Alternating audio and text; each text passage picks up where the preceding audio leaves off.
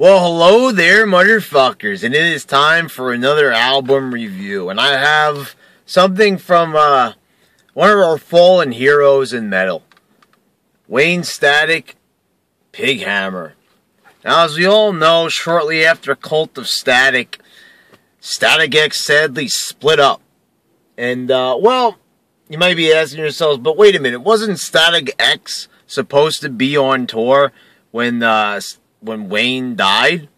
Well, yeah, but the thing was actually that Static X wasn't the original Static X. It was Wayne Static and a couple other uh, band members that weren't even in the original Static X. Uh, Tony Campos, for example, wasn't a part of it. He wasn't on bass. In fact, there was even a little bit of a um, discrepancy about the name. I believe it even went to court over stat over Wayne using the Static X name, sort of almost like a Guns N' Roses type of thing, but maybe not as serious. But it wasn't really the original Static X. However, there was a lot of talk about how much Wayne was actually doing for Static X, and many people say he pretty much wrote everything um, and was responsible for most of it. And you could really definitely see that argument.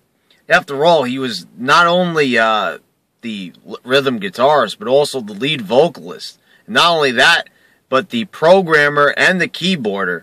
Uh, so, really, um, it goes without saying that uh, Wayne really did most of the work, it would seem. Now, if that's not true, then forgive me, but it would seem like that especially when it came to an album like Machine. Now, Machine's not one of my favorite Static X albums. Um, I don't know exactly where I would rank it, but I wouldn't exactly put it in the top three, let's say. But uh, it would seem that after Wisconsin Death Trip, there was already big discrepancies. That's when they lost their lead guitarist, and soon they had to switch it out for a different one. Uh, different guy um, on the third album after Machine. And the thing was, they already had problems. And most of Machine, Wayne actually says that he wrote most of that album. So it goes without saying that you really have to look at exactly how much work the man did. So Wayne had been planning a side project for a long time. We had been hearing about it um, even before Cult of Static, and it was called Pighammer.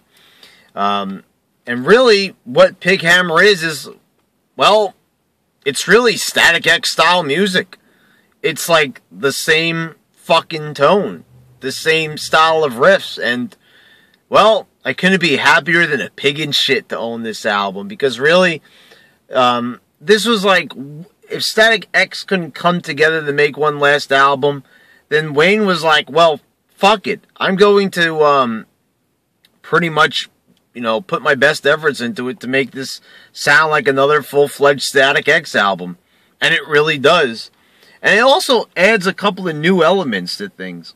Um, you'll notice slight little differences, a little bit of an extension on the electronica uh, usage in the album, but really, um, from start to finish, I mean, this is really a great album. It's another album with really not a really not a bad song on it. Um, you know, it starts off with a really weird intro. Um, you know, and then you've got around the turn, which is just it kicks it right into high gear. A nice opener right there. And Assassins of Youth, well, that very well might be the best track on the on the album. I I, I love Assassins of Youth. I think it's got like a nice little like punk flair to it, while still keeping it metal and a lot of attitude. And, and by golly, if you're not fucking um addicted to that chorus by the end of this song, even after the first listen then by the second or third time, it's definitely going to catch you. Uh, this is definitely one of his most catchy songs I think I've ever fucking heard. I mean, this is um wow. I mean, th- th- this is like fucking push it, which is makes it really fucking sad. Um, then you've got songs like fucking Static Killer, which the um the riff, the main riff, which is just repeated over and over again, like a lot of Static X songs, is just hypnotic. Um, it's just a great fucking song, and that's also another one of my favorites. Um, tr- there's really a lot to love about this album. There, and it's so sad that this is would be the last recording we would hear from, to the best of my knowledge. As far as a studio recording, this is the last I've ever heard, unless Wayne was working on something um, that wasn't really publicized. Um, I, I, hope maybe there's a, a, couple of things laying around that perhaps maybe could be turned into a new album in the future. We have seen things of this sort, you know, old demos and uh, basement tapes and things being turned into new full fledged albums. You know, we see this all the time. And it definitely would really, um, it, it, it, would be epic if they could do something like that. But for, for now, with Pighammer, I mean, this is a great fucking album. Um, and I'm really sad that I really didn't pay much attention to this album. You know, that's the thing. It's a, it's doesn't get a lot of attention. Like for example, Disturbed, another band that's on hiatus, um, and and they um, David Draiman, the lead singer, actually has a fucking uh, side project going on, Device, but it really doesn't get a whole lot of fucking attention. And why is that? Well, because it's a side project. When people hear side projects, well, they tend to think that this is just something that they're doing. They're not going to put as much effort into it.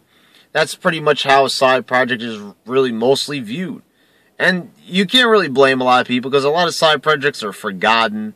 They're just, you know, not held in as high regard as their original band. But really, Wayne Static by himself, uh, this was definitely something fucking totally different. This was Wayne pretty much sort of trying to prove himself that he really didn't need anybody else, that he was tired of all the fucking bullshit, everybody disagreeing and everything, and just, well, just wanted to just, you know, put out an album on his own without all the fucking bullshit. And, well, this very well might be some of his best written work. He had a nice clear head to think about things. This is also when uh, Wayne well claimed to be uh, getting off of drugs at the time, and so this is probably a turning point in his life where he's really probably sick of all the fucking BS and just wanted to get down to the nitty gritty of well making great fucking music. And Pighammer is definitely a great album. This is definitely a big time recommendation for me, especially if you're as big of a Static X fan as I am and you know, you're one person that loves Wayne and, you know, you can't believe that he's gone. And so, you know, if you share any of those sentiments and you haven't heard Pighammer or you haven't purchased Pighammer, you haven't done anything to, you know, uh, listen to this album, you, you gotta go and fucking do it because you're missing out on the big part of Wayne's life. This was his last fucking album, his last fucking recording, and, well, to listen to it, well, it's a bit magical and it's a bit sad and it's a definite recommendation. All right, motherfuckers.